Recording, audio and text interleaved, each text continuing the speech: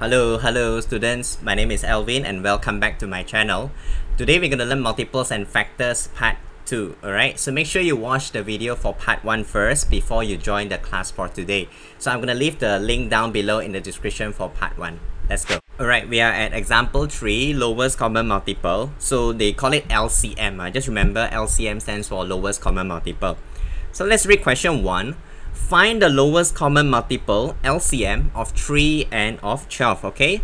So first step you want to write multiples of 3 alright? So write multiples of 3 okay? Because this is the working you must show this. And then you're gonna write multiples of 12 right below. So multiples of 12 okay? And then you're gonna write the multiples alright? Just gonna write a few first so I'm gonna write 3, 6, 9, 12, 15, 18. Okay, maybe you just want to stop over there. Now for 12, you're just gonna write a few. 12, 24, 36, 48. Alright, then you just leave it for them. Alright. Now, if you can see, common means the same. So let's find the same common multiple. The first one that you see the same. So the first one is going to be 12. I can see 12 over there as well, alright? So that's what you call lowest common multiple. So for the final answer, you're just going to write LCM equals to 12. So like this is very clear, you have the working and you have the final answer to show to the uh, teacher or examiner, right? So that's question 1 for you. Alright, question 2. Find the lowest common multiple LCM of 6 and 8, alright? So let's start off with the working multiples. So you have to write this, ah, cannot skip, ah, multiples of 6. And then you're gonna write one more time, multiples of 8, okay? So after you write that 2 working over there, then you're gonna write the multiples law, right? So I'm gonna write 6, 12, 18, 24, 30, 36, I think roughly enough. Then we're going to write the multiples of 8 now. So 8, 16, 24, 32, 40. Okay. Now, just check if you can see any common multiple at this stage, alright? If you cannot find any same common multiple, then you're just going to write uh, more multiples for 6 and 8. So I, I can see that uh, 24, right? 24 is the same common multiple for 6 and of 8 alright? Then you're just gonna log in the final answer. LCM is equals to 24 yeah that's it. So you're just gonna write LCM and you show the final answer for question 2 right let's do question 3 right now. Find the lowest common multiple of 12 15 and 20 alright wow three numbers like very hard to do. Okay don't panic. So you just like do like normal. Make sure you write multiples of 12 15 and 20 because if I see student write like this ah 12 15 and then you try to write the multiples? No no. Because you never mention what are the things of 12 it can be factor it can be multiple. So make sure don't be lazy. Just write the multiples of 12 15 and 20 okay? So make sure to do the writing of the english words. Right so write multiples of okay so gonna write 12 first then followed by the other two ah.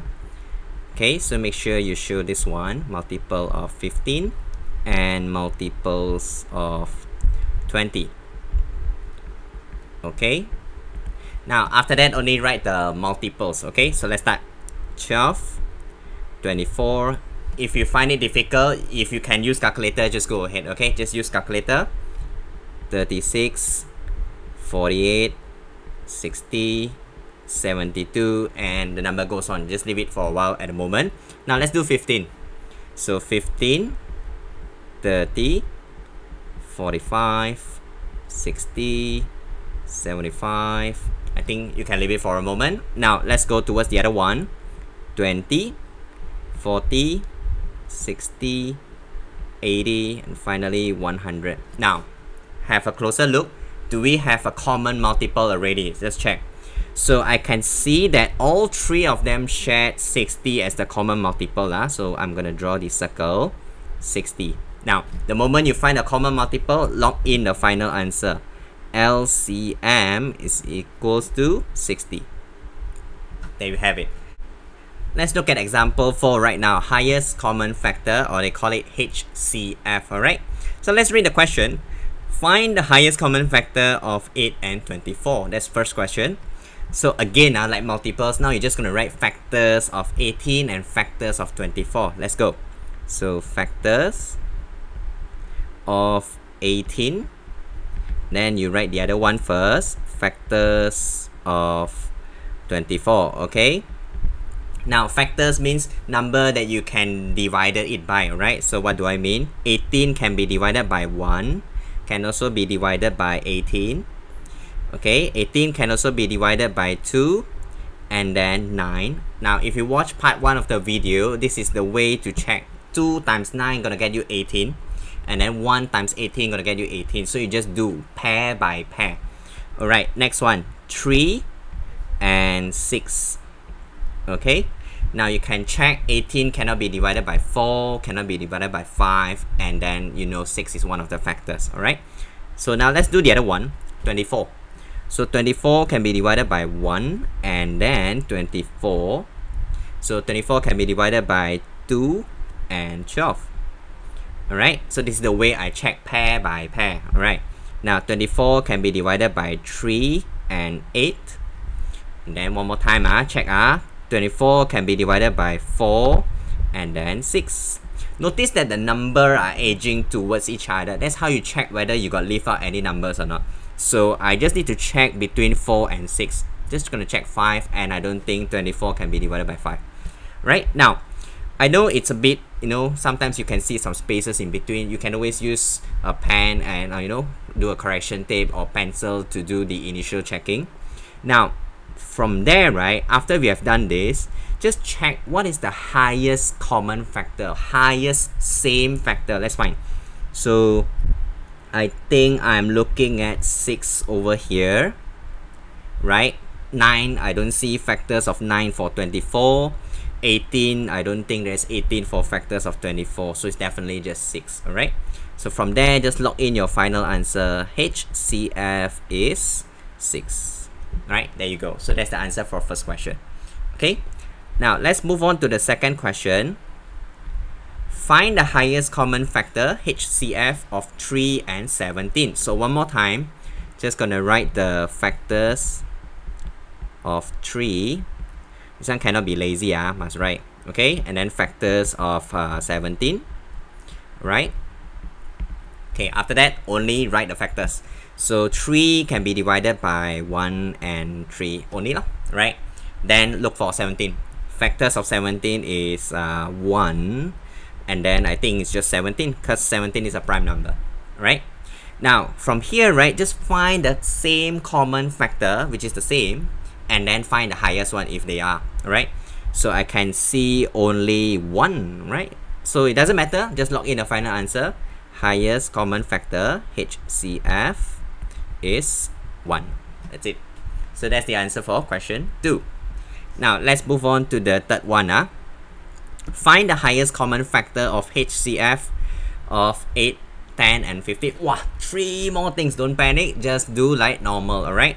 So just write factors of 8. Okay, and then write factors of 10 and then one more time factors of 15 okay and from there just work on the factors now so let's do 8 first huh? so factors of 8 8 can be divided by 1 and 8 okay then 2 also can right so 8 divided by 2 and 4 right? Any more number? Can divide by 3 cannot. 4 already mentioned over there right? So you may want to write nicely so let me do that. Write 4 and then write 8 so you can do that with a pencil.